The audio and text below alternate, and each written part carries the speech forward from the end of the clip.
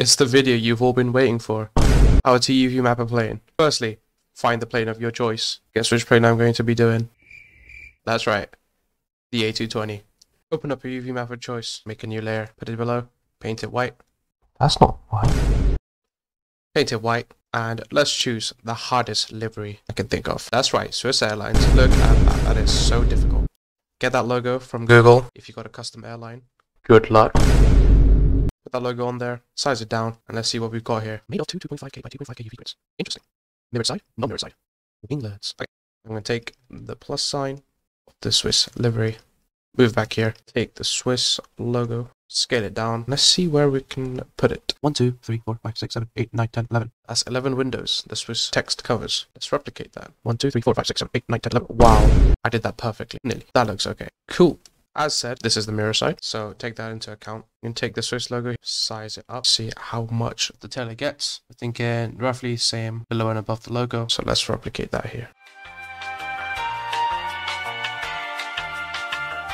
I'm going to take a section of this example here. I'm going to scale it forwards like that. Let's just take a rubber and delete that mistake. Perfect. It's like it wasn't even there. We can take this and we're going to put a reference down. So let's say right there, such as the black line. You can just move this right down. Perfect. Let's move the Swiss logo as well. It's the reference. I'll say right there. Move that bad boy down. It's two down. That's too far up. Perfect. Now, for the mirrored side, all you got to do when you have text like this, take it, put it in a new canvas like this, go to image and flip it horizontally, aka mirror it, overlap it, put it roughly yes, and delete. There you go. See? That was very difficult. We're going to check out the wingtips, and as you can see, we've got the Swiss Airlines logo on that as well. So let's do it. It looks like we have a problem. Alright, I'm going to do some editing myself. Super hard, and let me just speed this process up.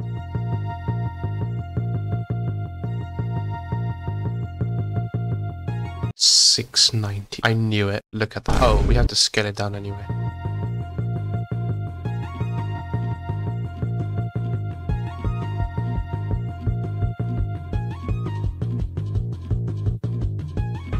And it looks like we're done. I spent hours on this. Hopefully you don't spend hours on your livery. Don't make the mistake of putting this whole livery as an image and seeing a squish livery and then complaining that your UV is not working. What we're going to do, check the image size, go to canvas size, 5000, cool. We can split it in half. Make a new 2500 by 2500 grid. Paste it over that background at the topmost layer you can. There you go. We're going to ruin that background. Merge everything down together, just like that. Select in the first layer, just over there. Let me paint it a different color so you can see it better. That. Make a new canvas. Check it's 2500 by 2500. Make sure you've copied that livery below. Boom, paste, boom, save. Select the other square. Boom, paste, boom, save. Another way of doing it, go to this looking, this fishy website.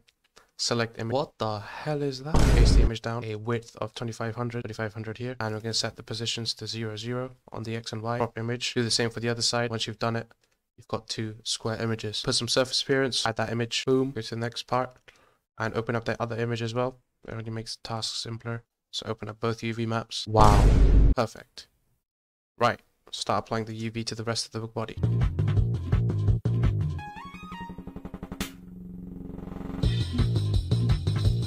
And there we go. We are done. The engine UVs look a bit off. I actually haven't made them. Very complicated livery right here. I missed the back part. I don't know why. There you are. See you in the next one.